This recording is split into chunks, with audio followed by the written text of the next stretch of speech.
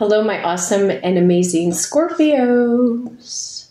It's Mel with Blue Scorpion Tarot here to bring you another general collective reading. Let's see what's going on. What's going on?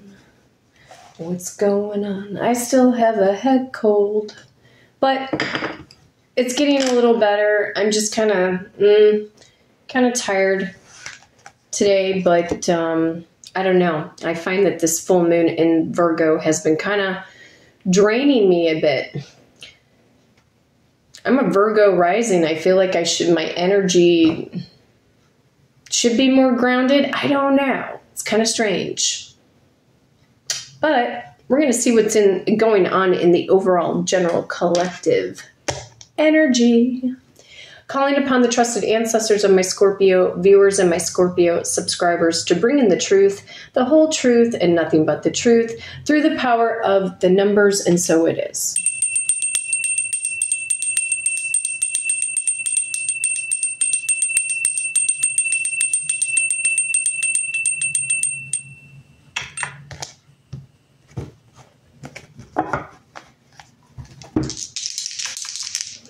And of course, rolling the dice to see what I need to shuffle a deck to. I have the power of number seven. We could see the chariot card kick in, possibly the seven of wands and or seven of pentacles or seven of swords, I'm feeling. Power, ooh, power of number seven, Scorpio. Maybe we'll get the jackpot number 777. Maybe. Do we get another seven for Scorpio, please? Four, seven, seven, four. Okay. Adding up the power of the numbers brings me to the number 18. 18 is in representation of the moon card. There could still be some deceptions that are going on in and around your environment, Scorpio. Maybe you've just been kind of to yourself. Maybe taking a time out. You know, I'm seeing a touch of the Four Swords in my mind's eye a bit.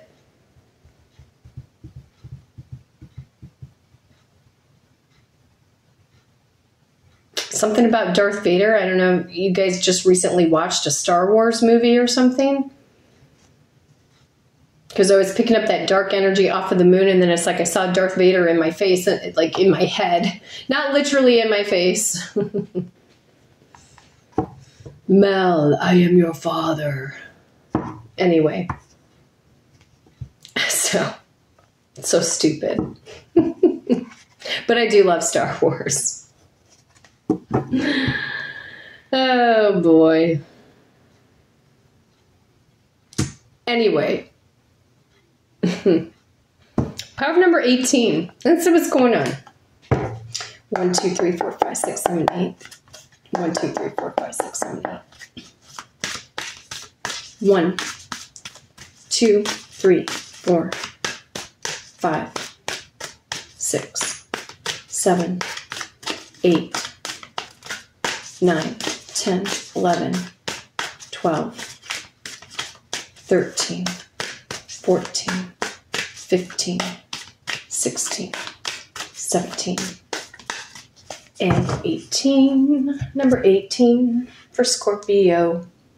Trusted ancestors of my Scorpio viewers and my Scorpio subscribers, what is the overall general collective message, please? What do they need to know right now in this current moment? Show me what's up.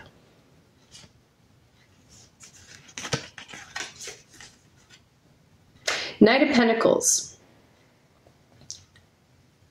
Something is making its way unto you, Scorpio, or someone is making their way towards you. Someone that you may feel you have a connection with it could definitely feel like the energy is moving slow, but I feel like there's an offer, there's some form of an offer coming in. Either this is a job situation or it is on a romantic level. We'll find out. Let's see what this Knight of Pentacles is bringing in for you.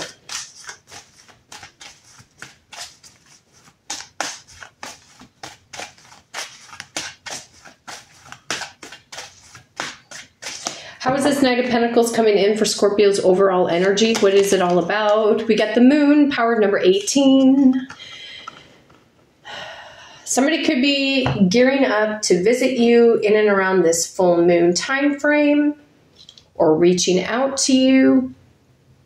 Could be the next full moon phase. We'll find out. Maybe things you feel like things have been in silence mode in regards to your career right now, Scorpio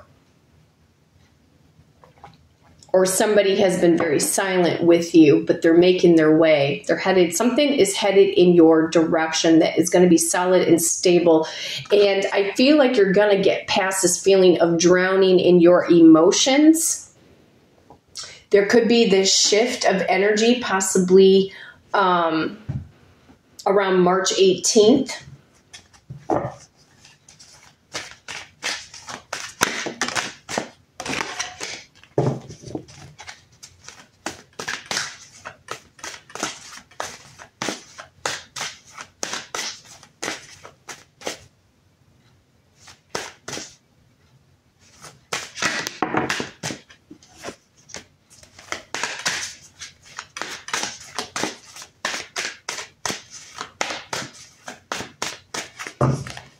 How is the moon coming into effect for Scorpio's energy? What's up?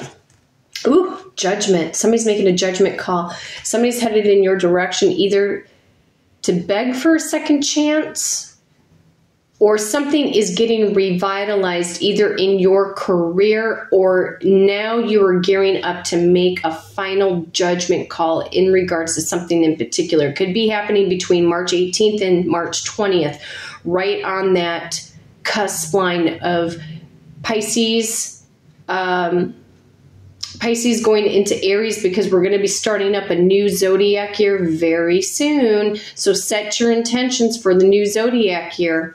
Um, that's going to be happening between March 20th and March 21st. It's that cusp line of Pisces into Aries, and we'll be on. It'll be right on the day of the spring equinox. So you may be in this final judgment call where you may also release you could end up releasing something within inside of you that is no longer, it could be an energy, it could be a funk that you've been going through.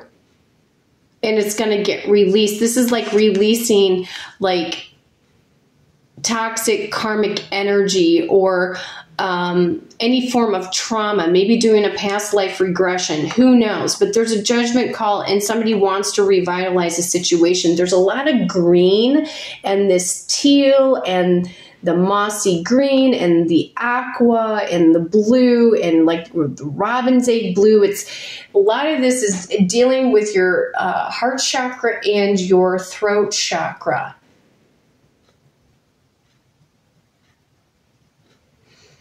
Some of you might need to get back to the gym in order to raise up the heart rate just a little bit, you know, um, to get that uh, circulation. You might, you maybe a lot of you have been feeling very sluggish or dragging your feet along at a snail's pace, and something here may need to um, be revitalized. This could be about diet, nutrition, exercise as well.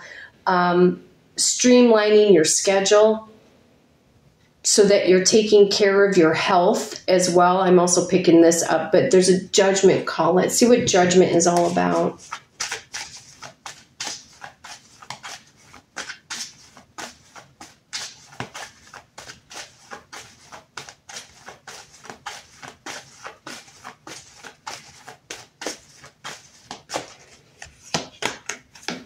The Hierophant.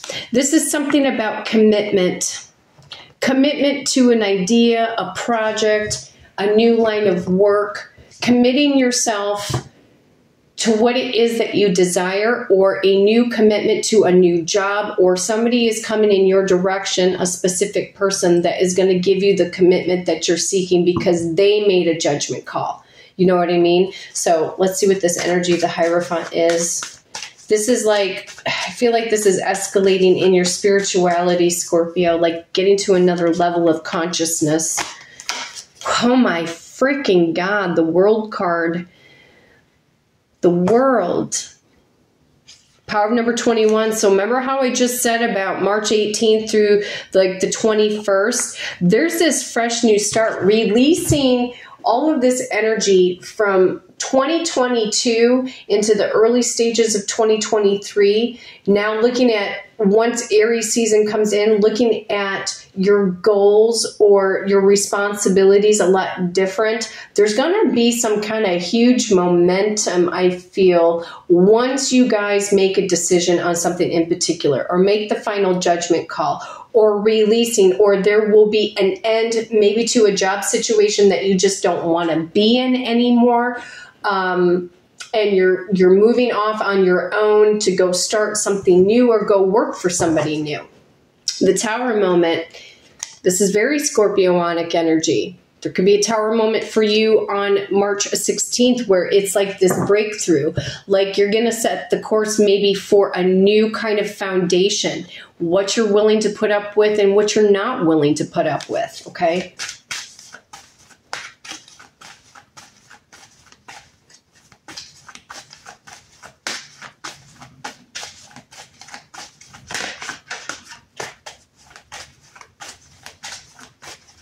What is the world for Scorpio? Eight of Pentacles. I feel like you're going to be putting your nose to the grindstone and doing what it is that you want to do, Scorpio.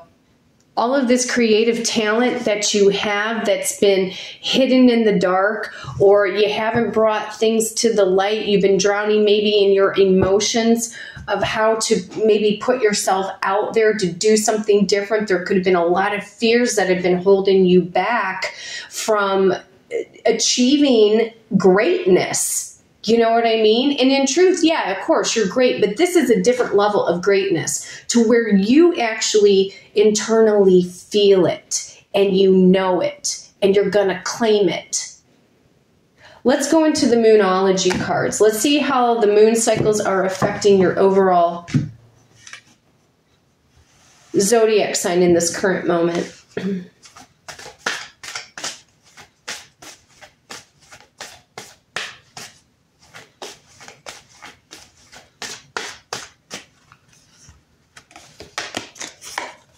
Hold your vision. Fixed moon. I feel like this is, you know, keep your eye on the prize, Scorpio. It's not time to give up, it's time to move forward.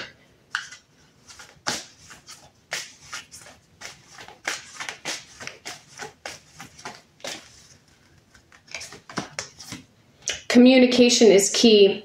New moon in Gemini.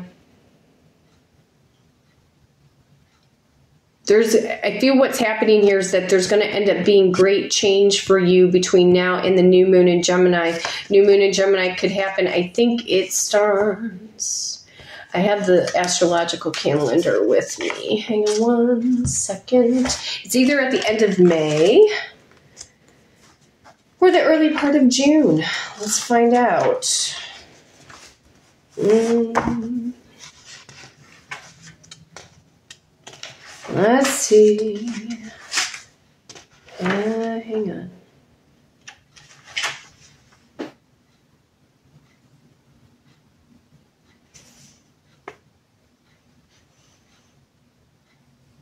I'm looking, you guys. Hang on a second.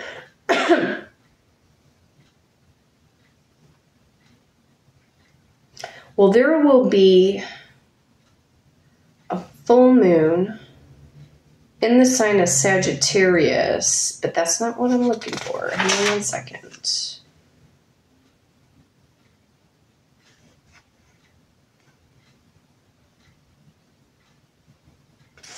Let me see if it's June 10th. Hang on. Hmm.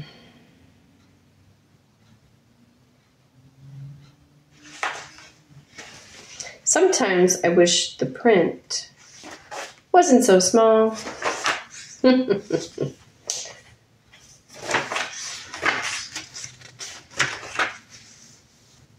mm. Ah, hang on a second. Okay.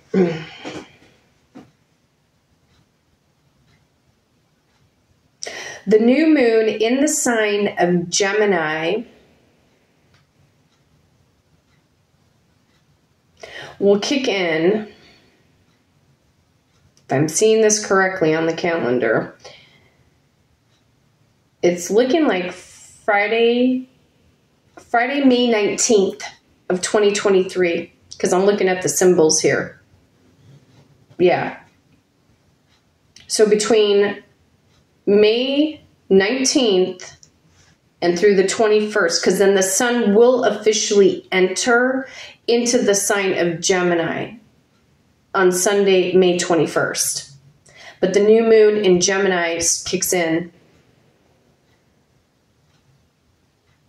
New moon in Gemini. Because then we'll go into Gemini season. So it's between now and the end of May, between May 19th and the 21st, that Spirit right now wants you to hold on to the vision and not to lose sight of what it is that you feel you're meant to do, Scorpio. Okay. Um, let me quickly go into the hold your vision. Let's see, fixed moon. Let's see if I can find it. Ah, there it is. Thank you, spirits. There are two main possibilities with this card. The first is that you need to stand firm in whatever situation you're in. So I feel like that is about not backing down. And when you are making a solid decision, that judgment call, do not waver from that judgment call. Don't go back, don't retrieve back. You know what I mean? The second, very different interpretation is that something is stuck. So you could feel again that the energy's been stuck or you've been drowning in your in your emotions in your romantic life or your financial life right now. That could be uh, that could well be referring to the situation you're asking about. If that's the case, have a think about what you can do to grease the wheel so that events move forward. Are you being stubborn? If so, that's great because if you really want things to change, there's a solution. Stop digging your heels in. Stop digging your heels into something that is no longer serving your highest purpose because I feel that a lot of you Scorpios are internally feeling the burn that there is a change that is coming and you're trying to kind of put your finger on it. You know what I mean? Be the one to break a deadlock. Exactly. Scorpio is all about change and transformation. With two interpretations for this card, it's up to you to decide what's going on and which meaning applies to you. This offers up a chance for some self reflection, which can also be that moon energy. Staying power, faith, or patience are needed someone needs to back down. Or you know and maybe someone who needs to back down is not necessarily you. It could be somebody outside of you that could be pushing or probing at you to think in a particular way or direction or not to make a choice or a decision. Avoid stagnation. A personal or professional relationship will be enduring. So again, this is buckling down to like your dreams and your goals right now and what you need to do to thrive, to take care of yourself, to take care of your family, etc. Let's see the new moon in Gemini. Communication is key. A successful relationship usually comes down to one thing communication. And the new moon in Gemini card is all about the start of a new cycle for communicating with the person at the center of your question. If that is about a boss, a job situation, a specific person, Talking things through is the answer to whatever it is you're asking about. If you can't talk to that person, you can journal about it to yourself. And I have said this to you guys too in regards to your romantic life or your specific person go find yourself a notebook or a journal and write out the pros and cons. Right? If the cons are outweighing the pros about that person or a situation, I want you to evaluate it, pull out that piece of paper and tuck it underneath your bed and sleep on it dominate over the cons. The things that have been bothering you or feel feels like certain things are you know have been moving slow or if you feel like you can't talk to somebody or reach out because it feels like there's this you know energetic wall between you and someone else. Emails text messages and all other forms of communication will also help you now. If the issue you're asking about concerns a sibling or neighbor there's a new start coming a time to wipe the slate clean and start over. This card could also suggest you've been too frivolous lately and need to get grounded again. But most importantly, drawing this card emphasizes the need to communicate. Tell someone how you feel. Don't be all in your head and not in your heart. someone is flirting with you or they want to flirt with you, read more books. I know I have been purchasing a lot of books lately, you know, and waiting to carve out time, you know, little by little. You know, um, I'm currently reading the book Two Weeks Notice. It's a fantastic book by Amy Porter. Uh, I think it's Amy Porterfield um, definitely for anybody who is looking to take that leap of faith into your own business and to get things fired up or revved up. So it is time to make major judgment calls, Scorpio, and not dater back to what you once knew. And communicating effectively because with this Eight of Pentacles card, this is about you and your hustle. Bottom line. And I know this energy. I totally know this energy. Okay. So, my beautiful, amazing Scorpios, if you'd like to book a personal reading with me and do it through the power of the numbers, you can hit me up at bluescorpiongifts at gmail.com and my amazing assistant Victoria will book you for that personal reading. But until next time, you guys, take care.